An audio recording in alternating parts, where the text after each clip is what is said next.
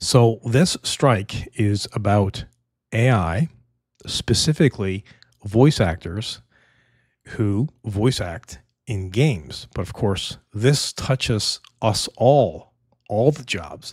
If you think your job is safe from AI, think again. Even if you're a supervisor or a manager, you know, you could be replaced by AI. Even maybe, you know, when robots get very agile and dexterous, they can replace plumbers and electricians. And maybe we will need that since, you know, five tradespeople are leaving and then only two being replaced. And I get it, those trades jobs are very difficult. However, you'll thank yourself and we will thank you if you are into that profession because we need carpenters, we need plumbers, we need electricians, you know, we need people to do those hard, hard jobs. Uh, in any case, um, you know, I, I, get why they're on strike, um, you know, because a, a voice of a person is their particular voice and they own that voice. It's theirs. And it's not right for a company ever now or a million years from now to take that identity, of course, unless they're paid for it.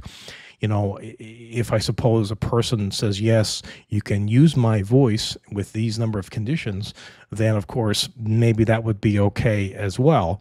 And you're going to see you're going to see a lot more of AI being used, like I said, in games and everywhere all across the board. I mean, there are games right now where you can actually talk to, you know, an NPC, uh, non-playable character in a game, and I guess you know they will. You can ask them a question, and they will come back with a whole bunch of answers, just like you could ask Google Gemini, the chatbot, a question, and it will come back with all kinds of answers. But what they're fighting for here is basically, you know, um, rights, uh, and they have a lot of concerns like um, AI generated voiceovers, the potential for game developers to use AI to replicate a voice actor's performance without consent.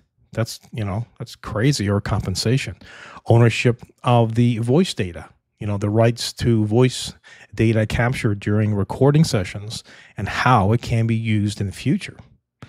Uh, fair compensation, of course, job security, another very important one. And, uh, you know, the need for clear and enforceable uh, contracts uh, that protect the rights of voice actors uh, in an age of AI. And remember, this is only the beginning. So let me know how you feel about AI and uh, do you use it? And, um, you know, uh, what do you think the future holds um, for you and your particular job? And do you think you'll ever be replaced by AI? Because, like I said, um, uh, you know, if you think that you're 100% secure in your job and you can't be replaced by AI, some professions you, you know, they won't be replaced. Tough jobs like replacing light bulbs at the top of I don't know a hundred foot towers. Uh, but then again, maybe you can get drones to do that, right?